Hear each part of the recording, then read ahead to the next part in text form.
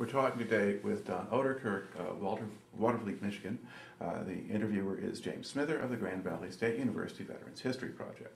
Okay, Don, start us off with some background on yourself, and to begin with, where and when were you born? Okay, I was born in Rochester, New York, and I grew up in a small town.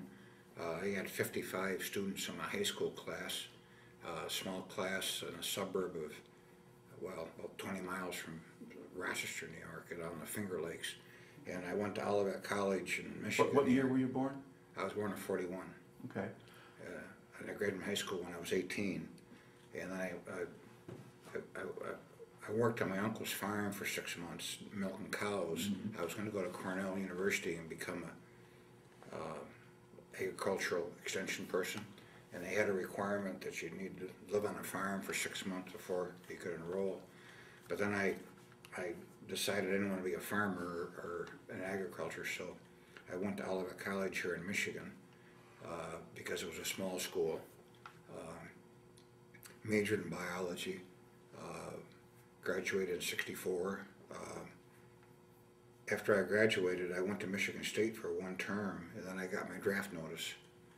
And when I got my draft notice, I I didn't want to be in a foxhole, so I uh, went down to Grosse Ile Naval Air Station and I enlisted the Navy in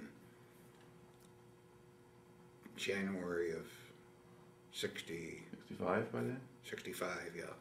And I, when I was there, the, the officer in charge said, well, you're a college graduate, why don't you take this, I enlisted. uh, and He said, uh, take this test for officer candidate school, and if you pass the test, instead of going to Great Lakes, you go to Newport, Rhode Island. So I took the test, and I passed it, and he said, well, instead of going to Great Lakes in March, you're gonna go to Newport in April or May. And so I went through, uh, four months of officer candidate school in Newport, Rhode Island. Okay. Talk about that. Um, what did that actually consist of? Well, it was pretty rigorous. Uh, we had 20 in my company that started uh, uh, in, at officer candidate school, and only 50, 15 of us got commissioned. Five didn't make it through.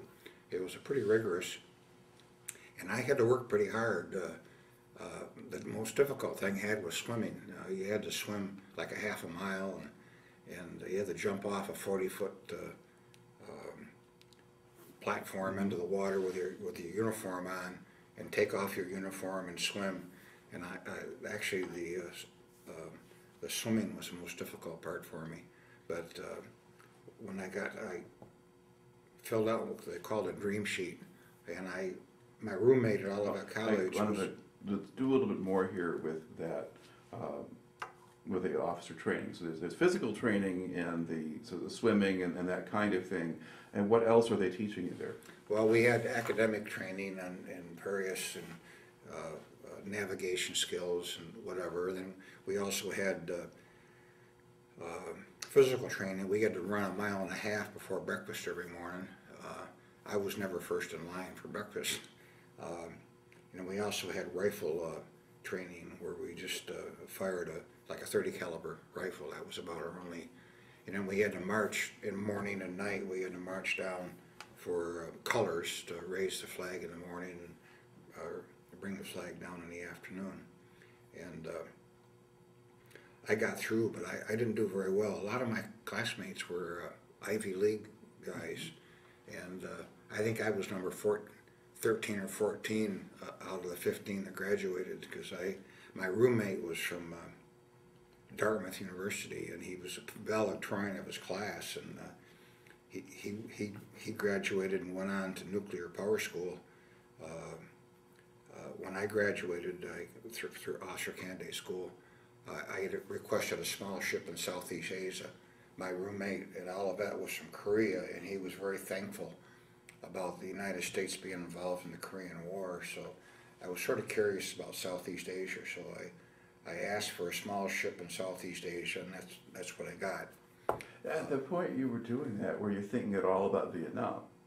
Yes, I knew. I knew. I'd said I know a little bit about it, not a whole lot, but I sort of figured that's where I was going to wind up. Uh, this was in. Uh, Oh, it's 65. So yeah, this is late 60, early '66, and Okay. Vietnam was starting to warm up. Uh, the ship I went to was an LSMR landing ship medium rocket. Uh, we were only had seven feet of draft, and a small crew, we had about hundred and twenty enlisted and I think six officers. And I went aboard as communications officer in San Diego, uh, after they finished refresher training. These ships were built for the invasion of Japan in nineteen forty-five, which didn't happen. There was forty of them in Pearl Harbor when they dropped the atomic bomb. And, uh, they brought most of them back and scrapped them, but five of them they put in mothballs up in Bremerton, Bremerton, Washington. And the St. Francis River, the one I was on, was one they had put in mothballs, so they brought it out, uh, and recommissioned it and put new, uh, new equipment on. Matter of fact, we had some of the, the best uh, radio equipment, uh, in the Seventh Fleet because it was, it was new stuff. Uh, Our, uh, type, our, not typewriters, but our printers went sixty-six words per minute, which back in those days was considered pretty good. So we left in uh, February, I think, of '66, and took us about 40 days to get to Da Nang. We stopped in Hawaii for a week. We stopped at Midway for a couple of days. We stopped in Guam for a couple of days, and uh, we wound up in San in uh, Da Nang, Vietnam, in. March. Well, What was the weather like on that voyage? I got real seasick. We had a typhoon between, uh, the ship was flat bottom, so it was sort of rough riding. And between uh, Pearl Harbor and Midway, we went through a bit of a typhoon. And I, I was seasick for three days. I stayed in my bunk and all I ate was crackers uh, and water. And I, I, was, I began to wonder, what am I doing here? But after the storm went by and we went, we had a little picnic uh, in, on Midway Island, uh, I got feeling better, and from then on, the, the weather was pretty good, except when I got to Vietnam, uh, our ship uh, did naval gunfire support uh, close in. Our, our rockets only had a range of 5,000 yards, so we had to be pretty close to the shoreline. And we worked with the Koreans. I believe it was a Tiger Division in Northern Two Corps. Uh, the Koreans uh, really liked our, our uh, gunfire. And then every six months, they'd send us back to Japan for a one month uh, mini overhaul. And uh, we, on the way back, we stopped in Hong Kong, which probably was the highlight of my time. I really enjoyed Hong Kong. I think I was there three times for about a week. Uh, we go back, we'd go back to Japan and have a, what they called a mini overhaul. Then they send us back. And I think I made six, five, five trips back and forth. Okay. And we, uh, Back up a little, little bit here, back to, to the ship itself. So basically, this is the- like the same, the same hull as an LST? About half the size of an It's LST. smaller than LST. Yeah, half the size. We weighed about a thousand tons, where an LST is about two thousand tons. And uh, they were originally LSMs, landing ship mediums, and they were Yeah. designed to land in World War II. They were designed to land tanks uh, on the beach. Right, So we were, we only, we only were 200 207 feet long. Uh, and uh, we had a seven foot draft, and I think we were thirty-four feet wide. So it was pretty close quarters. We had a crew of hundred and fifteen to hundred and twenty and uh, five officers. This, our s- captain was just a lieutenant. right. Uh, I was the, I was the youngest, I was the most junior, I was an ensign at the time, Ensign Oderkirk. So what was your, your initial duty then? What would At do? that time, I was communication officer, I was involved in, uh, communications of, uh, uh, was Seventh Fleet and back and forth, and also I stood watch on the bridge eight hours a day. Uh, I, I had the, uh, twelve noon to four in the afternoon and midnight to four in the morning, the mid, what they call the mid-watch. And, uh, for three years, I was, uh, I spent eight hours on the bridge during the, uh, middle of the night and the middle of the day. And then during the daytime, I'd have my work to, to do with the, uh, in communications, and we had, we had to encrypt, a lot of our communications were encrypted in codes, and I, I was involved in doing the encryption and decryption. And, uh, our, our, probably our most dangerous experience, we wound up in the rivers down, we were, we were called the Brownwater, Brownwater Navy. Uh, down in the Mekong River Delta has about five rivers that are pretty big. And this one river, we went up and we stayed, we were at a swift boat base called Cat Lo, uh, up from Vung Tau, which is a beautiful French-built uh, town right on the ocean. But about thirty miles up the river was this swift, swift boat base, swift, swift boat base called uh, Cat Lo, and we operated for a couple weeks out of there and did an, we did it, we did an amphibious landing. And uh, the current in the river was at ebb tide, when the tide is going out to the ocean. uh, The, the current was like ten knots. Well, that was like our maximum speed. So we had to drop anchor when the, when the tide was going out. And uh, we dropped anchor this one, one occasion and uh, we had a, a swift boat come uh, come aboard on our, our port side and a Coast Guard cutter on our starboard side. And they came aboard for ice cream, because we had ice cream. And this, this was about two days after the amphibious landing. Well, uh, after about fifteen or twenty minutes of these boats being tied up alongside of us, we got hit with uh, uh, rocket propelled grenades. And uh, the- the boats, both, the swift boat was on our port side, which was away from the, the beach where the, where the rounds came from, but the uh, Coast Guard cutter, the Point Kennedy, uh, got the roof blown off of it with a rocket propelled grenade. Nobody got hurt fortunately. Uh, And uh, two days later, we, we got moved out of the river and went back out, out to Cam Ranh Bay where we re, rearmed and refueled. And, uh, uh, we spent the rest of our time pretty much in what was called Southern I Corps and Northern II Corps, Cape Batangan, uh, working for the Koreans and also for the, for the Americans. I think it was the, uh, um, I'm not sure what division it was. Uh, you may have twenty-third division there, there's a, First Armored, I think, or something well, like there that. was a, there was a first cavalry regiment, which was an armored cavalry unit that was in that area. That might have And been then they were often served with the Americal Division, which the Yeah. twenty-third. We also worked with the Marines out of, uh, uh, our spotter most of the time was a Marine. He was in a, like a Piper Cub, Mhm. and he would be, our- do spotting for our targets. And, uh, he was out of, not, not, not Danang, the next Uh, place Chu Lai, south. or- Ch- Chu Lai, yes, he, he flew out of Chu Lai, and we operated mostly about 40, 50 miles south of Chu Lai.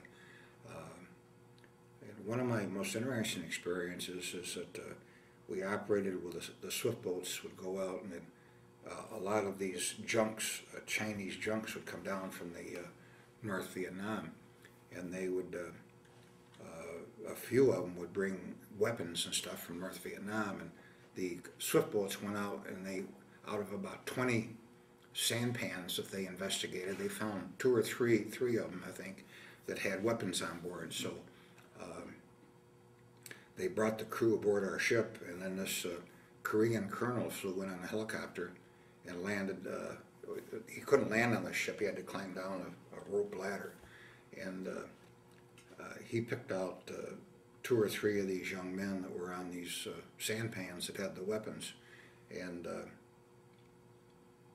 took them up in a helicopter and interviewed them and asked them for details. Well, the first man they talked to wouldn't tell them anything, and so they pushed him out of the helicopter. And the second and third men, and they were just maybe 18 to 20 years old.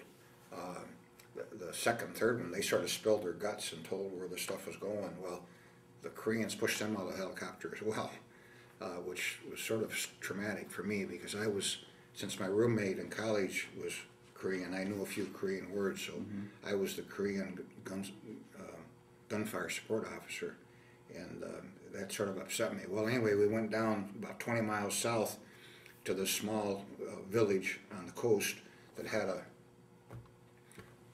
a small harbor, and we, we I I went abo- I went on the captain's gig. The captain's gig is a small uh, like an outboard, uh, and we went uh, with some special uh, special forces troops into this little on this pier in this little village along the coast, and uh, my job was to stay with the ship with the gig, and that's about the only time I wore a 45 caliber gun, and. Uh, on the end of the pier, there was this man jigging for crabs. He was uh, uh, had a five gallon bucket and he was trying to catch crabs off the end. So I walked down to the end of the pier, which wasn't very long, and I got I talked to him and he, he spoke perfect English. He spoke French. He also spoke Vietnamese, and he was a retired school teacher. And uh, after about two or three minutes of talking to him, I noticed that two of the crabs had their claws on the top of the five gallon plastic bucket. And I said to him, I said, you know, you better be careful because your crabs are gonna escape. And he said, well, don't worry, crabs are like people, when you get near the top, somebody tries to pull you back down. Mm-hmm. And sure enough, the other crabs that are down, were down lower, pulled the top crabs back, back down. And that was one of the more, uh, intellectual discussions I think I had, uh, when I was in Vietnam. Yeah. Uh, where did you go first in Vietnam? Did you, did you go into, did you go to Da Nang first? Yeah, we fu- pulled into Da Nang uh, to refuel. We burned uh, d- uh, diesel fuel, and uh, we pulled into Da Nang. And matter of fact, one of the things that really impressed me, that I had the midwatch, uh, 12 in the, at midnight to 4 in the morning, before we pulled into Da Nang, and we were maybe 20 miles off the coast, and the, the sky in the western sky just lit up with uh, there were bombs being dropped by B-52s. It was called Operation Overlord, I believe. And I said to myself, Oderkirk, what are you getting yourself into? This looks pretty serious. It was sort of like I'd seen movies of World War II and World War One with all the uh, uh, shells going off. Well, I went down to my bunk and I slept for about three hours. And at seven or eight in the morning, we pulled into Nang Harbor, and it was the most peaceful scene that I saw. There was these women paddling these small sampans, trying to sell us fruit and vegetables, and it was very peaceful looking. And I said to myself, "Would you have a nightmare?"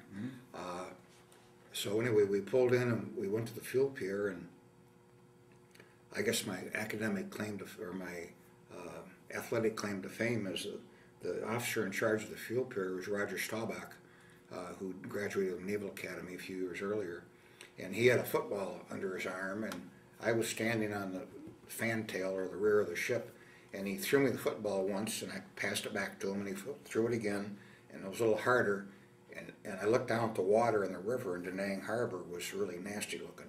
And so after, after I threw back the second pass, I sort of waved him off and said, I've got to go down below, I've got some duties to do. And uh, I didn't know who he was, but I went down uh, to the mess decks right below the fantail, and the executive, the executive officer was down there, said, you know who you're playing catch with? I said, no, but he throws a hard football. He said, well, that was Roger Staubach. So that's my, my, my athletic claim to fame is I caught two passes by Roger Staubach, and after that, he went to the Dallas Cowboys for quite a few years. Right. Uh, now, when you went into Da Nang that first time, did you go ashore or just stay on the ship? Uh, I sta pretty much stayed on the ship. We, we tied up at a pier. We refueled at this on the fuel piers, but I don't believe I went ashore. I think I stayed aboard ship. Uh, I think we all did. Uh, uh, because they, they just took the hoses, the, uh, the fuel people just sort of threw the uh, fuel hoses aboard ship and we just attached them to our fuel tanks. And I don't know if anybody, the captain might have gone ashore briefly or something, but, but I didn't. Okay. Uh, now, describe a little bit just sort of the way the ship operated militarily. You've got set of rocket launchers on it, or Yes, we had, we had, uh, uh, eight, f- four on the starboard side and four on the port side, uh, rocket launchers that fired five-inch spin stabilized rockets. They were, uh, uh, the warhead was about a foot long and the propellant in the rear of it was about eighteen inches and they were, they were spin stabilized and when they leave the rocket launcher, they were spinning. And most of them had what they called point detonating fuses. And like I said, our longest range rocket was five thousand yards. Our, our best rocket was two thousand yards. That had a, a warhead of about two feet and a propellant of about one foot. Uh, so the shorter range rockets had more warhead and less propellant. and it's the five inches at the diameter of the rocket? Yes, it was five inch. We also had a five inch thirty-eight naval rifle, uh, that we used, but we had to fire reduced rounds because the ship was pretty small and if we fired a full round out of our five inch thirty-eight ri- uh, rifle, our, e- our electronic equipment would go out of whack. So we fired, uh, reduced, what they call reduced rounds, and mostly it was uh, white phosphorus, uh, we called it Willie Peter. Uh, at, at night, we'd use it to illuminate, illuminate the sky. And we also had, uh, we used on a few occasions, a 40, twin 40 millimeter, uh, I guess machine guns, I'll call them. Well, they're, they're cannon, but they could be, they're Yeah. fairly rapid fire. Yeah, they're rapid fire. We had two on the, on the bow and two on the stern, uh, and a two, a pair on each bow and the stern.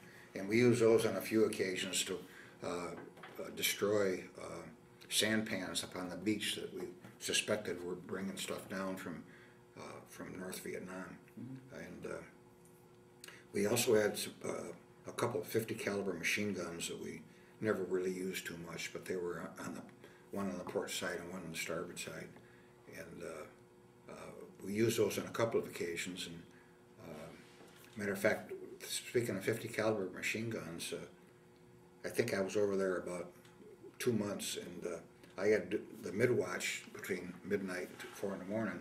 And we were close enough to shore where we, we got shot at by uh, 50 caliber, and these uh, tracer rounds.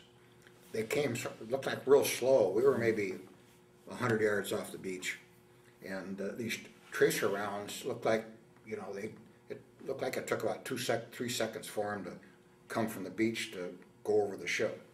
Uh, none of us, none of the tracer, none of them hit us, but my junior officer of the deck was a, chi- a chief petty petty officer who'd been in World War II, uh, Chief uh, Banks, I believe. And anyway, he'd been in Okinawa in World War II, and I said to him, uh, if I had a a fish net, a steel fishnet, I could reach up and catch one, one of these rounds. He said, he said, Ensign Oderkirk, between each of those tracer rounds, there's four that aren't tracer rounds. He said, so you wouldn't, you wouldn't last very long, and that was sort of a little bit of a humbling experience for me to have this real experienced, uh, uh, chief bosun mate that he was. Uh, he sort of straightened me out a little bit and realized that I was pretty much a rookie. Now, in this case, did your ship fire back? No, that was, a- that, on that particular occasion, we, we didn't, uh, yeah, I think we did, our forty millimeter forward, forward, forty millimeter fired back a little bit where the tracer rounds were coming from, but, uh, they were, uh, uh, it only lasted for 30, 40 seconds or so, it didn't last very long. Uh, and I think, uh, maybe one of the, one of the 40, 50 caliber rounds hit, we had a dent, we had a little dent in the front of the ship, on the bow of the ship, I think one of the rounds, uh, uh, hit the ship and, uh, but didn't, didn't penetrate. The ship, the, the hull was, what, quarter inch steel, I believe, and we were far enough off the beach where, uh, that, that fifty caliber didn't have, I'm not sure up close even if a fifty caliber would penetrate a quarter inch of steel. Right. It just didn't have enough velocity at the point that it hit you to do. That's right, because we were out about a thousand yards, uh, well, maybe five hundred yards off the beach. And I think it was just some Viet Cong or North Vietnamese were just trying to hassle us a little bit and keep us, keep us alert. Okay. Um, How common was it to take fire from shore anywhere? I think we, about three times along the beach up in southern I Corps, we took some, uh, small arms rounds. And then our, our, our most dangerous situation was down, as I mentioned before, down in the river, where rocket propelled grenades, uh, I think five of them came across. And I was on watch up on the bridge when this happened, and the first round went over, the went over the top of the ship. The second round and, and landed in the water about fifty yards on the port side of the ship and exploded. Uh, and the second round, uh, went across the front of our ship and hit, uh, a steel railing and sort of flip-flopped and, uh, landed in the water about twenty yards from the, uh, bow of the ship and exploded. The third round hit this, uh, uh, Coast Guard cutter called the Point Kennedy and it sort of, it made the top of the, it was aluminum superstructure and it sort of made it look like a salt shaker. Uh, The fourth, about that time, our front, our forty millimeter rounds in front went into the area where the, these, probably, I don't know, three hundred yards, two, three hundred yards away. And our forward, our, our forty millimeter went in and, and really hit the area pretty hard. And the next day, some special forces, uh, troops went into the area, uh, where these rounds came from. It was the mangrove swamp. And, uh, they didn't find any bodies, but they found some blood, uh, blood and some, uh, some material laying around. So, uh, apparently whoever had done this, paid a bit of a price for it. And we were fortunate that nobody really got, you know, damaged aboard ship. Matter of fact, a small world story, the, the officer in charge of the PT boat that was, he came up on the bridge and we were talking on the bridge when, for about five minutes before this happened. And, uh, the, when you're overseas in the military, one of the first things you say to somebody is, you know, where are you from? And he said, I'm from St. Joe, Michigan. And I said, well, I, I went to college in Olivet, Michigan. I know, I know where St. Joe is. And his name was Pete Rowe. He was officer in charge of the Swift boat, number 90, 98, I believe it was. And, uh, uh, when the, when the round blew up on the Coast, Guard- on the Coast Guard cutter, he, he bailed out. He and his crew got on the Swift boat and vanished, uh, cause it was at night. And, uh, about seven years later, when I was in reserves drilling over at Fort Custer, uh, maybe it's eight years later, uh, I bumped into him and we sort of looked at each other like, you know, we've seen each other before, but when was it? Well, then we got talking and, and it was sort of strange. Here, about eight years later, we, we sort of met each other again after that. Because the first time we, we talked maybe for ten minutes. Uh, and, uh, anyway, it's sort of a personal story that sort of, uh, impressed me is how you can run into somebody that, you know, from your local area. And then later on, I, you know, hooked up with them again. Sure. Uh, so that was good. Now, about how, what proportion of your time did you actually spend working with swift boats as opposed to just going up and down the coast? Boy, two or three days a month, we, we, the swift boats would round up these sampans and we'd throw out, uh, off, off our stern, we'd throw off a, a long cable. And the swift boats would tie the sampans, sometimes twenty or thirty of them, up to this cable. And we'd tow them, uh, to an area where they got interrogated. Uh, that was probably twice, I don't know, I'm gonna say twice a month. So these are sampans that have people in them? Oh, they all had people in them, yes. Okay. And uh, a number of them were, they had women in them as well. Uh, Matter of fact, on one occasion, they- an Air Force uh, plane had uh, picked up this one sampan and, and uh, shot at it and uh, badly wounded two or three of the people on board. Matter of fact, our ship went out and one one of the people wounded was, a- was a female. And, uh, and then the other one was a, a young male, maybe twelve years old, ten years old. And our, our corpsman aboard ship uh, sort of patched them up and tried to um, save their life. And I'm not sure, uh, after he patched them up, they took off. And so I'm not sure whatever happened after that. But that was sort of sad to look down from the bridge and see the, the blood and stuff that, uh, the, the swift boat was maybe thirty feet long, twenty or thirty feet long. Not the swift boat, I mean the Sampan. sampan. Yeah. But uh, I was fortunate that I didn't get to see a whole lot of, you know, blood and guts type of stuff.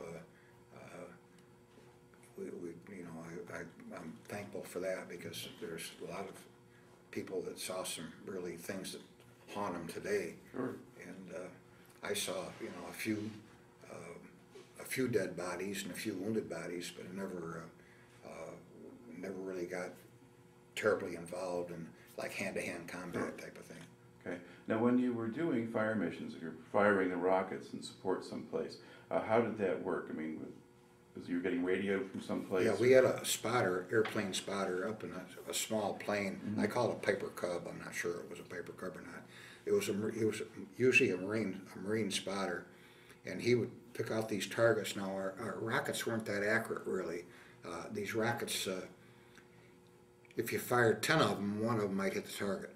Uh, they didn't have the accuracy of a, of a naval rifle that's got the, you know, spin to it.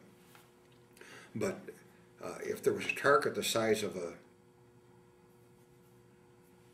a football field, uh, if we fired a hundred rounds, uh, probably half of them would land in the football field. Uh, so uh, our accuracy wasn't too good, and that's one reason the, the Koreans uh, liked us because the Americans were a little paranoid about collateral damage, meaning killing innocent people. Right. But the Koreans didn't didn't much care about that, and so that's one reason the Koreans used us used us probably at least half or two thirds of the time we were over there. Um, and they they were very effective. Uh, nobody, matter of fact, this one Korean colonel looked like uh, for one of the early James Bond movies. There was a character named Odd Job. A very large, bald man. Yeah. Yeah. And this, this colonel looked just like Odd Job. And uh, I, I went and spent a couple, two nights in their compound in, in northern II Corps. Uh, and they just moved in there. And I asked him, I said, do you get any mortar rounds in at night? Because that, that was sort of a typical thing, uh, that the Viet Cong would fire a couple mortar rounds in to keep people, well, or maybe kill people or at least make them nervous. Uh, and this Korean colonel said, yes, first night, first night we get three mortar rounds in, we go out next morning and we shoot three young men, no more mortar rounds. So the Koreans had a, by our standards, a bit ruthless, but they were pretty effective, very effective. All right. Uh, now, you also mentioned uh, you so you're, go, you're going back and forth. You're off the Vietnamese coast for a certain amount of time, and then you go back to Japan or Yes. to Hong Kong and, and so forth. Uh, talk about the trip to Hong Kong. What were you doing Oh, there? and well, it was sort of on the way back. Uh, Hong Kong is about halfway, well, not quite halfway, maybe a third of the way between Vietnam and Yokosuka, Japan, which is our home port. And uh, uh, for called R and R Rest and Recreation, we'd stop in Hong Kong on our way back. It was probably yeah, three to four days. Our ship didn't go very fast. It took us uh, probably seven or eight days of sailing to go from Vietnam to Japan. And uh, we'd sort of split it in half and stop in Hong Kong for couple, three days and have some, uh, rec- you know, I remember going, going up Victoria Peak and seeing uh, uh, things. We'd also refuel uh, there as well. And uh, I know on one occasion, before we got to Hong Kong, we went, no, after Hong Kong, I guess it is. My ge- geography is not too good. Between Taiwan and China, we went between Taiwan and China, and we went through a typhoon, and it was pretty, pretty. Actually, we there was this boat that had capsized with Chinese, I'm not sure if they were national Chinese or Formosa Chinese, but there was a, we picked up these three or four survivors off this boat, fishing boat, that had capsized in this um, in this typhoon, and we took them into I think it's called Keelung on the north end of uh, uh, of Taiwan, uh, and dropped them off. And uh, then it was probably a f- three to four day trip from there up to Yokosuka, Japan.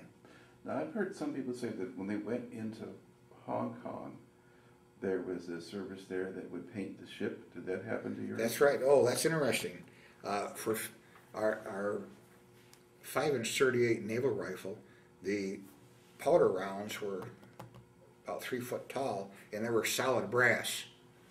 And for, for 50 or 60 powder of these brass empty, we could get our ship painted. And there were women that painted the ship and they didn't use brushes, they used rags. And the paint job wasn't too good. They didn't do much preparation for it. They didn't do much sanding or anything. But uh, the, the our captain was uh, always wanted to show back up in Yokosuka looking pretty sharp. And so these women in Hong Kong for 50 or 75 of these brass uh, shell casings would, would paint the ship in about a day and a half. And this, I, I know I was impressed with the fact that they, they didn't use brushes, they used rags. And uh, uh, so we, we generally, our, our, our, these five inch thirty-eight powder, powder casings they were, uh, we'd hang on to them and the two or three times we went into Hong Kong, uh, we used, we traded that to to get our ship painted. And, uh, and we each got to spend a day or two, you know, in the city of Hong Kong and see some sights and whatever. Um, I, I, I, someday I'd like to go back to Hong Kong. I don't know if I ever will or not, but uh, uh, it's a it's a wonderful city. All right. And then when you went up to Japan, what would happen up there? Well, we go into Yokosuka, which was uh, naval base, and uh, we we'd go through like a one month overhaul. Uh, the there were almost all there were Japanese workers, and they'd come aboard and they'd redo our our, our engines, and and on, we had trouble with our uh, clutches on the. Uh, we had we had two engines, two diesel engines, and we had to have our clutches repaired uh, about each time we pulled in there. And it was sort of interesting. These Japanese workers that came aboard ship, uh, when they when they came aboard ship, they had they wore a sport coat and a suit or sport coat. Then they changed. They had a little bag and they put their work clothes on. And then when they left the ship, they put their their fancier clothes back on. And I was pretty impressed with uh, these basically yard workers that showed up looking like they were, uh, you know, uh, Businessmen. businessmen, and when they left, the same way, so I was pretty impressed with uh, their work, and they got a lot of stuff done, uh, in, in three or four weeks, you know, we'd get, uh, our engines overhauled and, uh, uh, uh, another root, sort of routine maintenance, because the ship did, it was, it was forty years old, and it, uh, um, it, needed some routine maintenance on different things, I know, I know we had trouble with the clutches, they were, the, the diesel engines were out of, uh, what they used in World War II submarines. And our, our engineering officer was a warrant officer who, in World War II, had been aboard a submarine. And he knew these engines and clutches inside and out. And, uh, he, he was a great, uh, uh, a great asset for us because he, he knew these engines, uh, uh, like I said, from top to bottom. If I'd been engineering officer, I wouldn't, I wouldn't have known what to do. Now, when you're in port, um, would you go travel around Japan at all or do things on shore? Never did too much traveling in Japan, mostly in Yokosuka. Uh, I, I was gonna go to Mount Fuji one time, but the weather turned bad and, and, and the trip got canceled to Mount Fuji. Uh, I went to, uh, I went to Yokohama to see a baseball game. Uh, I forget now who it was. It was one of the American major league teams against the Japanese. It was in Yokohama, and that was about that was maybe thirty miles from Yokosuka, and that's about the only furthest I ever got out of Yokosuka. So how would you spend your time when you were in port? Well, our when we were in port, we were what they call port and starboard. We'd spend one day aboard ship, and the next day we, we were free to spend from like eight in the morning to eight at night, you know, in town. And we went to a number of bars, and uh, I, I went and saw a couple of movies. Actually, they were English-speaking movies, uh, and uh, I, I did take some side trips around Yokosuka to see some of the, you know, the suburbs type of thing, uh, but never really traveled too far through Japan. Okay. Uh, how did the Japanese seem to view the American servicemen? Oh, they they liked us because they got paid pretty good wages. Uh, sort of like the Koreans. Uh, the the Koreans in Vietnam got paid U.S. wages, and they were really really happy with that. And the the yard workers in Yokosuka in Japan, the Japanese workers got paid pretty good, and so they were they were very uh, happy to be working on on, on U.S. ships. Uh, the United States spent a lot of money on on maintenance of ships in in uh, in Japan and uh, also in Subic Bay in, in the Philippines. We went into once once or twice. Uh, that was a that was a big military base, uh, Now, the, the crew on your ship, uh, when they went ashore, would they behave themselves or some of them get in trouble? uh, yeah, some would get in trouble. Uh, uh, I remember a couple of times when I had duty, the the uh, military police would bring these sailors back that were basically drunk, and they'd gotten into a fight or you know some scuffle or something like that, and uh, they were they, they drank quite a bit. Uh, uh, that was the big thing, you know, to go to these bars and and um, you know and get drunk basically because a lot of these our our sailors were 19, 20 years old. Uh, I was 25, 26 years old, so I was sort of an old man, so to speak. So I didn't really participate too much in, in this uh, uh, going bar to bar type of thing. And they had different levels of bars. They had some bars were for mostly for officers, and some for were for enlisted. So the bars that I frequented or went into a few times uh, were basically designed for officers. They were just a little bit classier. Now, could they get in trouble with, with women too? Because there's, Oh yeah. Uh, when we before we before we left uh, San Diego, uh, they they'd head down Tijuana, Mexico.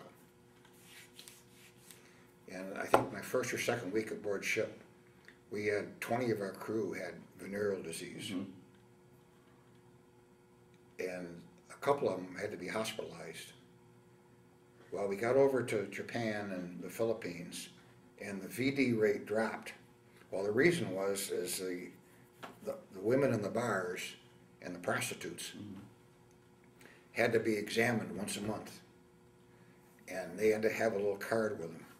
And so, even though these, uh, our sailors were uh, frequenting the the prostitutes and the, the bar girls, uh, the, the VD rate just about disappeared compared to uh, Tijuana, where there wasn't this, uh, these inspections of the, uh, uh, of, of the girls.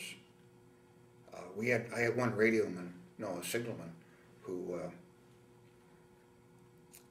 came down with a very serious, uh, venereal disease, and uh, we, he got evacuated off the ship, and I don't know whatever happened to him. But basically, the, the VD rate overseas just about disappeared compared to back in San Diego. All right. Uh, Now, during what time span were you um, in, in Southeast Asia, in that area, going back and forth between Japan and Vietnam? Oh, let me think here, I gotta think back a number of years. Because I guess you Well, left. April of sixty-six, I was there from April of sixty-six to April of sixty-eight, Okay, in, in and out of Vietnam for, for two, two years. Okay. But we'd go back to Japan right. three or four times in between. Now, during that time, did you uh, get an R and R, get to go home or anything like that, or were you just with the ship the whole time? I was with the ship the whole time. Well, actually, no, come to think of it, or towards the end, I, I, I had, I earned about, I had about thirty or forty days of leave. And I came back to Grand Rapids, Michigan, and I got married. Mm-hmm. Uh, And then, my- matter of fact, New Year's, it was New Year's Eve of sixty-eight. uh, She and I flew back to, Ju- to, from um, Travis Air Force Base back to uh, uh, Yokohama, I think it was, it wasn't Yokosuka. Uh, And then we re- we rented a small house, and, and then my last two, my last three-month trip down to Vietnam, she she's roomed with another wife uh, in, in, in, in Yokosuka. And so, uh, I did come back to the States after a couple of years and got married, and we, our honeymoon, we went to New York City, as a matter of fact, and, uh, it all seemed sort of strange, uh, like I had a time lapse type of thing, but, uh, uh, but it was a good experience, and then, uh, when, when my for, my former wife was over there with me, we did a little bit, of- we went up to Nikko to, uh, uh, um, up in the mountains, so to Mhm. speak, and saw some of the, some of the scenery. Actually, I saw more scenery with her than I did Right. before. Okay, uh, and then, uh, let's see, now, are there other things that happened during that tour that you had in Asia that kind of stand out in your memory that you haven't brought into the story here yet? No, not really. The, um, I do remember, uh, one of my officer friends, uh, Rich Merman, who lives in Denver, Colorado, uh, uh, we were shooting up these sampans on the beach with our uh, forty millimeters, and they weren't terribly accurate. And so this, he was the operations officer, I was the communications officer. He suggested to the captain that, uh, why don't you send us ashore with, some, you know, some, fuel oil and we'll, burn these sampans. So the captain said, okay, we'll do that. So they took the, the captain's gig, uh, onto the beach, about seven men and then this Rich Merman, the, the officer in charge. And they set half a dozen of these sampans on fire. Well, then all of a sudden, these Vietnamese men showed up over the sand dune. Now, they, they didn't have guns with them, but it scared the dickens out of the, uh, uh, people on the beach. And the captain's gig, uh, got turned sideways in the surf and, and it didn't sink, but it got full of water. So we had one of our enlisted men was a, a, a very good swimmer. I think he was, I'm not sure where he was from. Oh, he was from Naval Academy, but he didn't make it through. After three years in Naval Academy, he got washed out. And, uh, he, he swam to shore with a small line behind him. And then they pulled this big rope. And they tied the rope to the captain's gig and pulled it back, uh, to the ship, probably uh, maybe 300 yards off the beach. Uh, and the f- six or eight men that were with him were sort of hanging onto the side of the uh, boat to, to get back. And fortunately, no, nobody got hurt, but that it was a, uh, sort of a scary situation. Okay.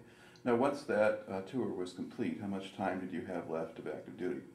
Oh, I, I, they, the Navy wanted to keep me in, uh, aboard ship for three years, and I didn't really, wasn't too keen on it. But after the Tet Offensive, things sort of got sort of messy in Vietnam. We had to get, before we took, fired at a target, we had to get clearance from the local Vietnamese, we had to get clearance from, uh, two or three people. It, it took us like six or eight minutes to take a target under fire. And so it sort of wasn't much fun anymore. So I agreed to extend in the Navy for another two years. And I, I asked for, my, my wish list was, uh, uh, communication station in Iceland, uh, Naval Officer Candidate School in Newport, and I think someplace in Norfolk, Virginia, I forget where.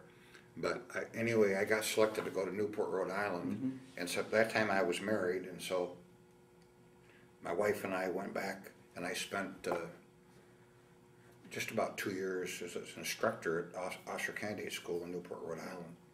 And then in, in late '69, when, when things really started drawing down, uh, they gave me my choice. I could augment, I was U.S. Naval Reserve, and I could go U.S. Navy regular, and they were gonna send me out to a, um, reserve center in, in Utah.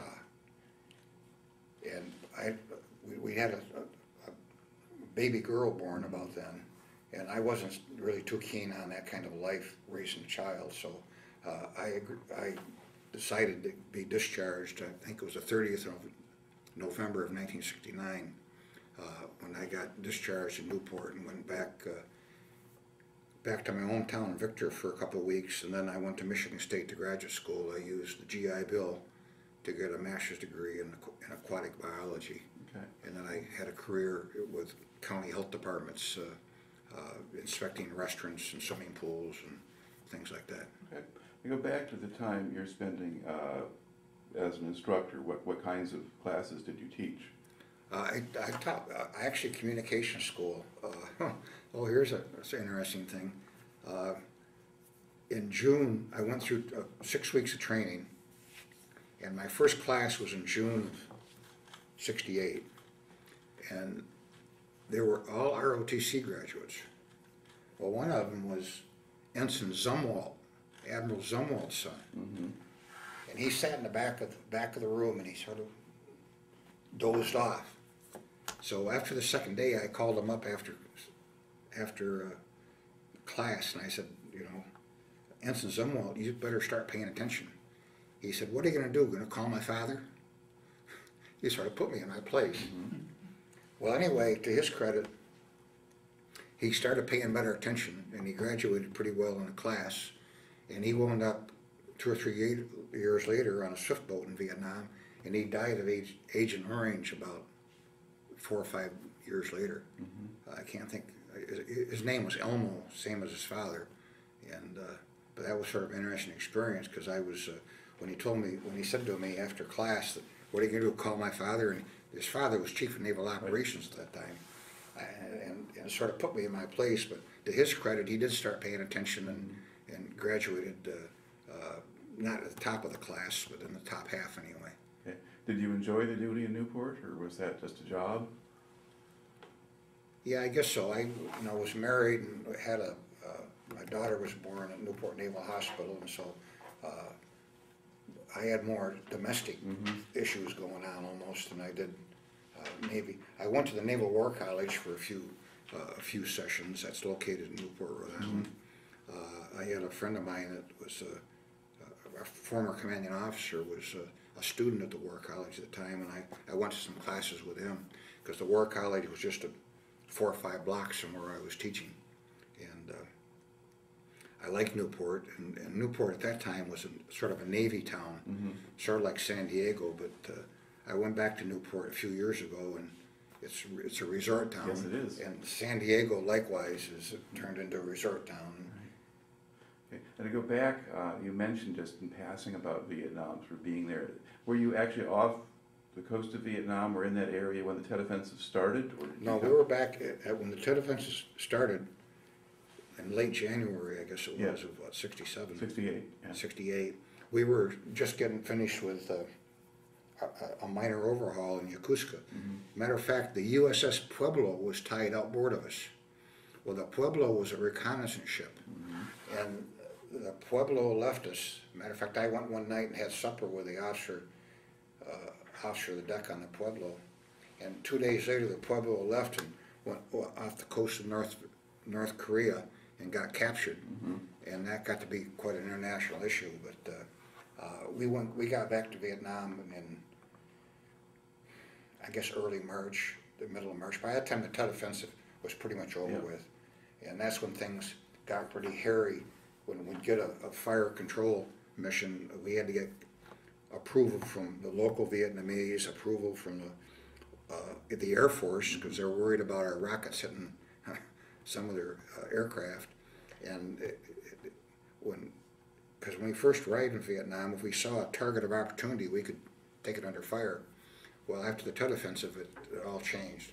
And that's when I got a, a little bit discouraged. Plus, I've been aboard for almost two and a half years by then. And I was getting, there was a whole new group of people. And uh, uh, a lot of my good friends had left and gotten out. So that's when I decided to uh, uh, stay in an extra couple of years and go to Newport. Uh, Yeah. So was they, was there sort of a regular rotation of personnel off the ship while you were on it? Yeah, most, most, uh, two year, two, two years was sort of the standard thing. I don't know why they, they sort of picked me to spend my full three years on it, but, uh, most of the crew spent two years, uh, or maybe a little more than two years on board, and by the time I left, it was sort of a whole new, Right. Matter of fact, our commanding officer, uh, for the first year and a half aboard ship, Fred Mangle, uh, his sister married a Nye down here in Berrien County, uh, down, lives on Glenmore Road. Uh, and he, he, he was an ROTC, ROTC graduate from Michigan State University. And he stayed, he's the only one of the five officers that stayed in the Navy and made it a career. The rest of us all got out after, well, I did about four years, but a lot of them just did three years. Okay.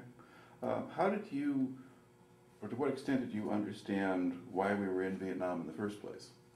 Well, as I mentioned earlier, my, my roommate in college from Korea, and he was very thankful for the U.S. being involved in, in the Korean War and sort of saving South Korea, because he was born and raised in Busan, or known as Busan. And uh, he sort of convinced me that, that Vietnam was very similar to Korea. And at that time, there was what, that concept of uh, communism spreading down through, matter of fact, there Yeah. was The whole domino theory. Domino Yeah. theory, yeah. Matter of fact, we operated with some Australian, there was Aus- Australian, couple Australian naval ships that were doing, a couple of cruisers, matter of fact, from Austria, Australia. Uh, And also the British were sort of, a couple times I spent some time aboard a British minesweeper. But the British didn't, didn't really get too involved in things, but, uh, the, the Australians were concerned, uh, with com, you know, the communists taking over Vietnam and then Indonesia and then moving down to Australia, so that domino theory was a, uh, a factor in, in the sixties. Okay. Uh, and then when you got back home, uh, did you notice sort of much about the anti-war movement and popular views of the war? Not too much. I never had really too much of a bad experience, except when I was going to Michigan State University, I, uh, on Veterans Day, there was, uh, in Lansing, they had a parade, uh, down the main street, I think Grand River Avenue was called. And, uh, in nineteen seventy or seventy-one, our Naval Reserve Unit was marching down, and we had tomatoes thrown at us. And the next year, they didn't, they didn't have a parade. Now, I didn't get hit with a tomato, but it was sort of, it was sort of depressing. And from that point on, they, they didn't do a, a, a parade on Veterans Day. Okay. Now, how long did you spend in the reserves? Another fifteen, about fif- fourteen and a half, fifteen years. And what kinds of things did you do with them? Well, I drilled in Lansing for about four years while I was going to Michigan State. And also I worked in Clinton County at the, for the health department in St. John's, Michigan. And then when I moved down to Berrien County and took a job in Berrien County, uh, I drilled at Fort Custer in Battle Creek for about seven years. or maybe six years. And then, but when I made, when I made commander after ten or twelve years, uh, no more pay. So I had to, and, and also officers didn't get paid for uh, lodging or for transportation. But we carpooled it. There was a number of other uh, officers from this area. We carpooled it to Fort Custer back and forth.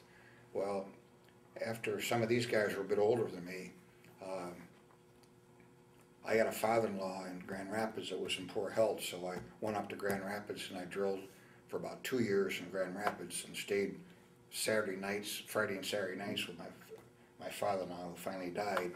And then I spent my last year and a half in the reserves.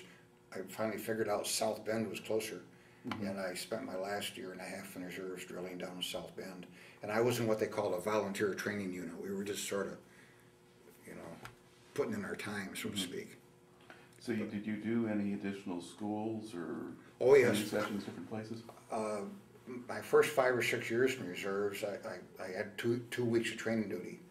And matter of fact, one of the things that still sort of bugs me is, uh, when I was in Lansing, my first, uh, two-week training duty was aboard the USS Enterprise, an aircraft carrier. Well, I'd never been aboard a ship anywhere near that size, and they had these exercises, nuclear power drill, uh, forget what it was called. But I was about seven decks below the bridge where I was stationed. And I couldn't get, uh, the first time I tried to get to the bridge in time, these Marines were there with their rifles crossed. And I couldn't get to the, you know, into the bridge. Mm-hmm. So the second time it happened, I just, I just stayed in my bunk and nobody came looking for me. But I took about twenty machinist mates down with me from Lan- the Lansing area. And actually, these machinist mates were worth more to the enterprise than, than I was. Mm-hmm. And then I, I, I did some training, do two-week t- tours on some destroyers. One of them was a Spruance class destroyer back, I think that was my last training duty after about seven years. And the Spruance class was gas turbine. And it could go, it could go from dead in the water to twenty mile, twenty knots in like a minute. And that just sort of blew me away. I mean, I, that's when I realized that, you know, I was, uh, the, the world had changed so much that, uh, uh, the, the way that ship could pick up speed. Uh, and also, I, I spent a couple tours on the, uh, it was an aircraft carrier with, out of Pensacola, Yorktown, I think, may- I'm, I'm not sure, but, uh, where they did training for pilots, you know, uh, uh, I, I spent a couple tours down there. And then I went to the War College for a two-week period, uh, and I went to a, a, a tender in Charleston, South Carolina for a couple of years. But again, I'd go down with about fifteen or twenty enlisted, uh, machinist mates and bosun mates, and they, they, they fit in better than I did. I was sort of odd man out, so to they speak. had work to do and you just were kind of there? Yeah, they put me, I, my duty station was on the bridge, so I got to see what was going on, but I wasn't really, you know, I was s- sort of on the sidelines, I guess. Now to look back at the time that you spent in the Navy, uh, what do you think you took out of that or how did that affect you? Well, I guess, you know, respect for uh, people that serve their country, number one. Uh, I was really impressed with, uh, matter of fact, when we first uh, went to Vietnam out of San Diego, uh, there's, uh, a Navy ship has a a wartime complement and a peacetime complement. In the wartime, there's more people during wartime, so they have, they got more people. And uh, about a week before we left San Diego, they marched about twenty of these enlisted men down that just got out of boot camp, and they were called Category Fours, and they they were most of them were from Philadelphia, and the judge had said to them, either go to go in the military or go to jail, and these guys that came down the pier, you know, went to, in the Navy to the Great Lakes, and came down, and we picked about eight or ten of them out of the twenty, and one of them that I picked uh, for us, and he became a signalman, wound up staying in the Navy for thirty years. And uh, uh, Cronin, Austin Cronin, and he was one of the more sharpest guys I. He learned the, you know hand signals mm-hmm. within in 24 hours when I, I never could learn mm-hmm. flags or hand signals. So I think my respect for the uh, people that served is was was, was a big thing. Mm -hmm. All right. Well, you've killed off successfully an hour of tape, and you've told a good story. So thank you very much for coming in. Okay. Well, I thank you again. I just. Uh, don't know how this compares to my first, uh, uh, was it six or seven